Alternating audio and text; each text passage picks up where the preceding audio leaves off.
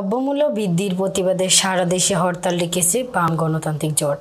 আগামী আটাশে মার্চ আধাবেলা হরতাল পালনের ঘোষণা দিয়েছে সংগঠনটি। পূর্ণ পল্টন মৈত্রী মিলনায়তন মুক্তিভবনের সংবাদ সম্মেলনে এই কর্মসূচির ঘোষণা দেন জোটের সমন্বয়ক সাইফুল হক। জোটের সমন্বয়ক জানান, তেল, চাল, ডাল, পেঁয়াজ সহ নিত্য প্রয়োজনীয় পণ্যের দাম ভয়াবহভাবে বেড়েছে। দ্রব্যমূল্যের এই ঊর্ধ্বগতির প্রতিবাদে এবং গ্যাস, বিদ্যুৎ, পানির মূল্য বৃদ্ধির অপতৎপরতা বন্ধের দাবিতে এই হরতাল পালন করবে বাম গণতান্ত্রিক জোট। তিনি জানান, আগামী আঠাশে মার্চ সকাল ছয়টা থেকে দুপুর বারোটা পর্যন্ত সারা দেশে আধাবেলা এই হরতাল কর্মসূচি পালিত হবে। সংবাদ সম্মেলনে আরও উপস্থিত ছিলেন জোটের সাবেক সমন্বয়ক বজলুর রশিদ সিপিবির সাধারণ সম্পাদক রহিন হোসেন, প্রিন্স প্রমুখ।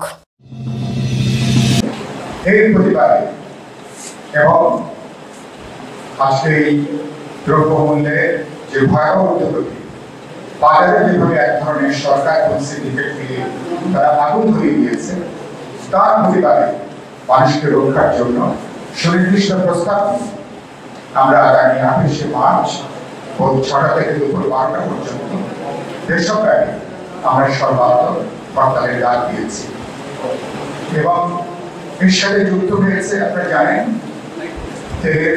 ভোজ্য সহ সেখানে তার দাম আকাশ তুলবি এর সঙ্গে যুক্ত হয়েছে এইপিডি মূল্য বৃদ্ধি আবার আমরা শুনতে পাচ্ছি একুশ তারিখে।